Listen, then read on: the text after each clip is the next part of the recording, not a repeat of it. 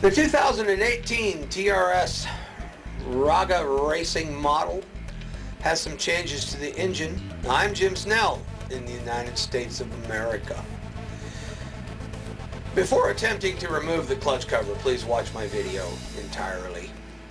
There are changes to the shifting mechanism and the kickstart mechanism as well as a few other things on this engine, but this video we're concentrating on the kickstart mechanism.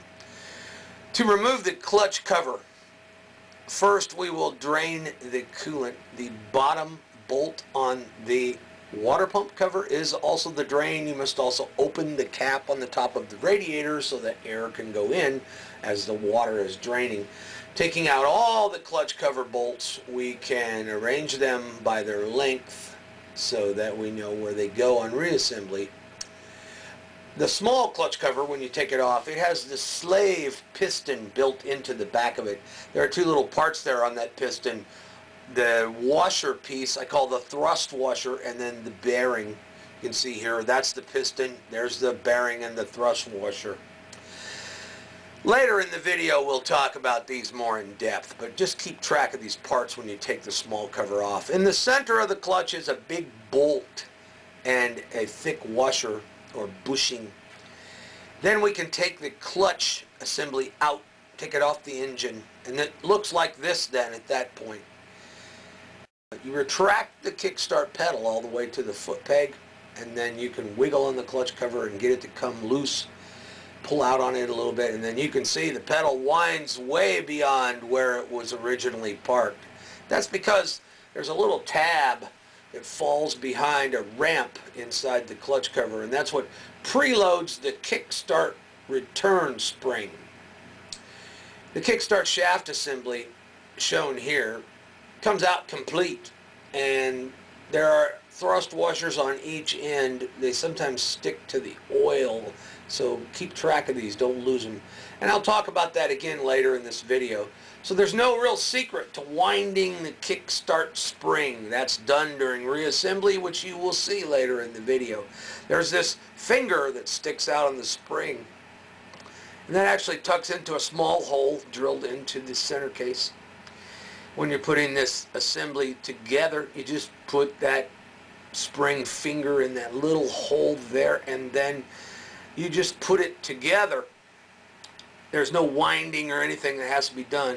Now this little thumb sticking out on this gear, that rotates around and tucks behind a little ramp that's inside the clutch cover itself, which I will show later. So this little tab sticking out of the gear, highlighted here, is important during reassembly. So I'm going to show in detail how that works so that you understand it. So then you're looking at the side of the engine like this and you're thinking about reinstalling the clutch cover. Remember that the water pump gear, which is a composite resin, must also mesh with the gear on the front of the engine, the primary driven gear. So when you're putting the clutch cover back on, you have to manipulate the kickstart spring preload that we will discuss later. But at the same time, be sure that you rotate the gear on the water pump so it falls in place. Here we can see the ramp and thumb that separates the two kickstart gears. When the pedal is retracted to its park position, those gears are separated because that thumb falls behind that little ramp shown here. some different views of it.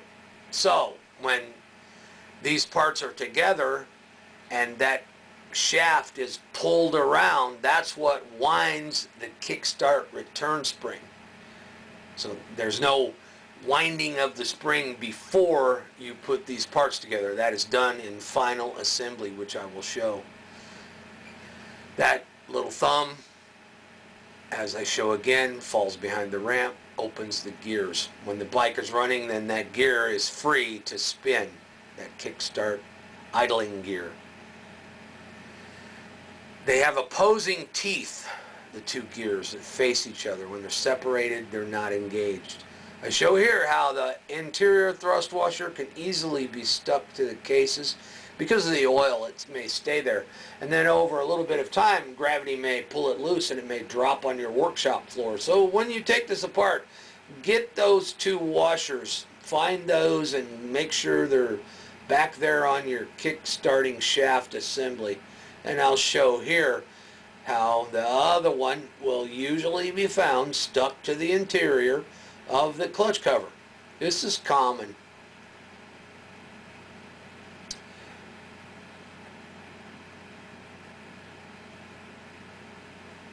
Goes right on there. I point this out in detail because you can't believe how many times people lose those washers.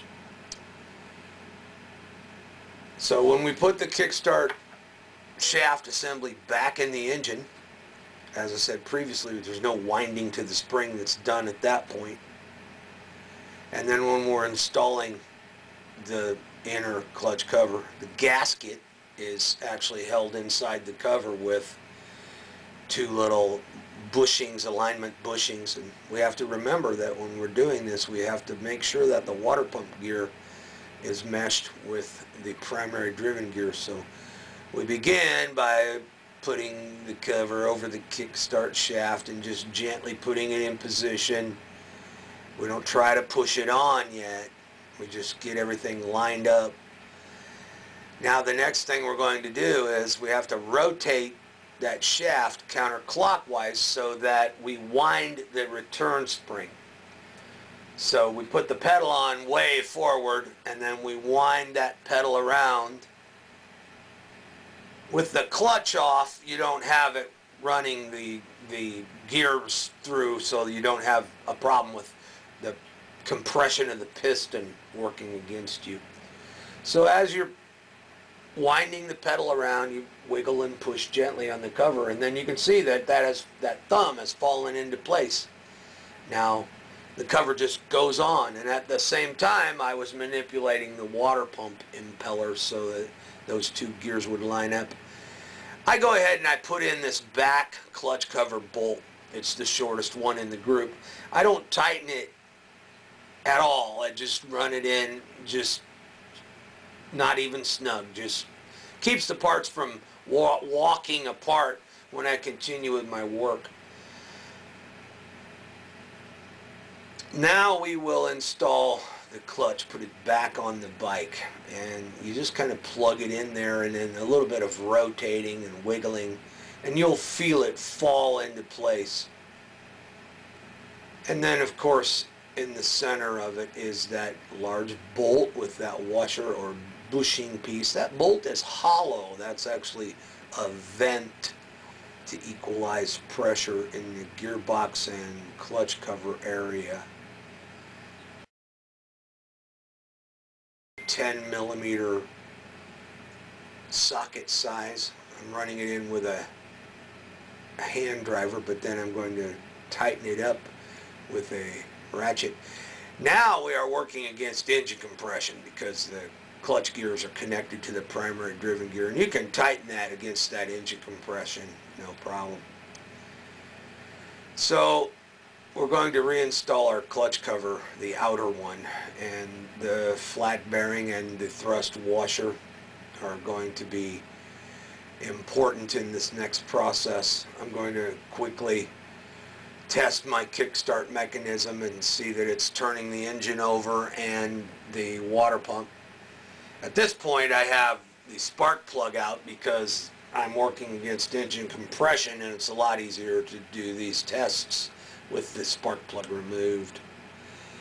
That seems to be working just fine, so we're going to put this small clutch cover on.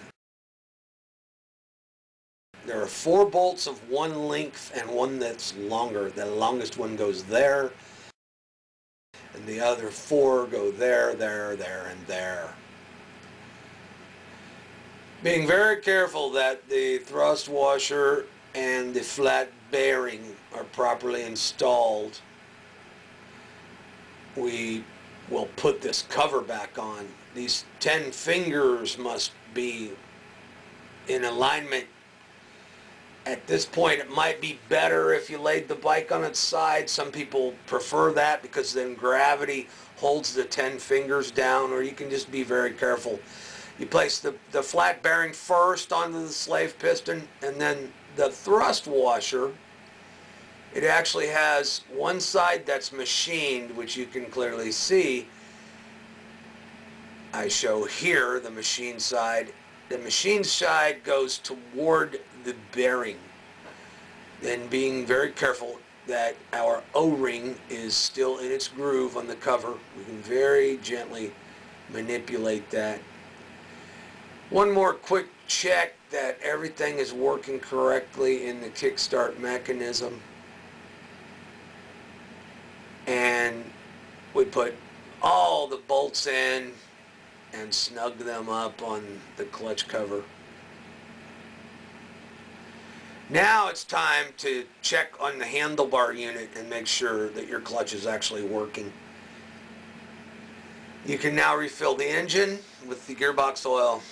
The final step is the cooling system and please don't forget there is a bleeder on top of the cylinder head. It's a small bolt, 8 millimeter wrench size with a copper washer that must be opened during the filling process once antifreeze coolant begins to come out of that bleeder hole, then you can put the bolt back in and tighten it. This gets all the air out of the cylinder area. You can see here what it looks like. And then don't overfill the radiator.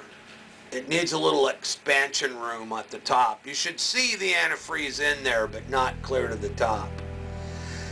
That's it, and thank you for watching my video. Best regards, this is Jim Snell in the United States of America.